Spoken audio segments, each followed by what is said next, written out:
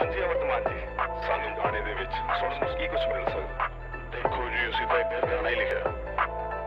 ਪਰ ਕਈਆਂ ਦਾ ਜਿਹੜਾ ਲਫੜੇ ਵਾਂਗੂ। ਸਿੱਧੂ ਮੂਸੇ ਵਾਲਾ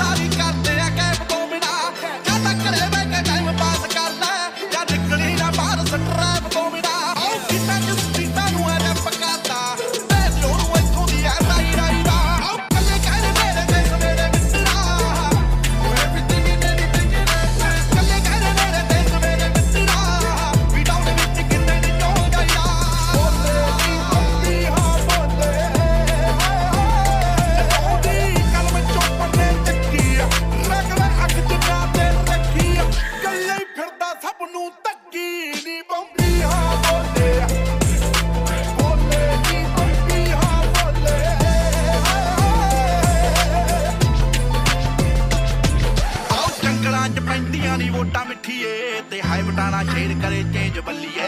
ਡਿਵਾਈਡਰ ਤੂੰ ਛੱਡ ਆਈ ਜਿਹੜੀ ਉੱਤੇ ਦੀ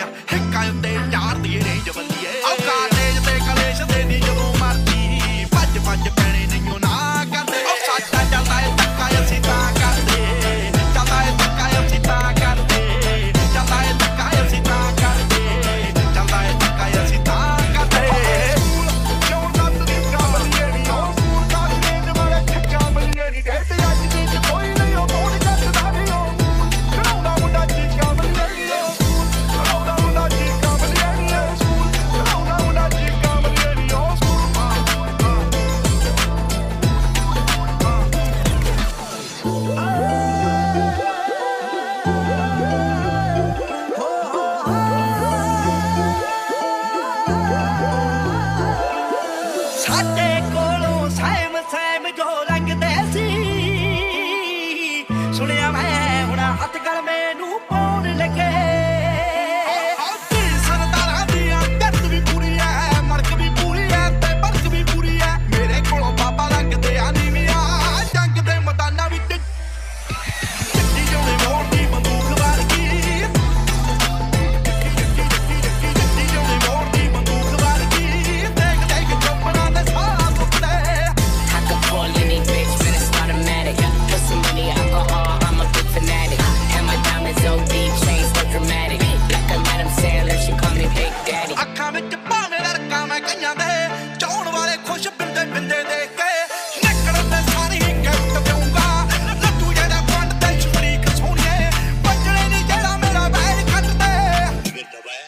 que el cara.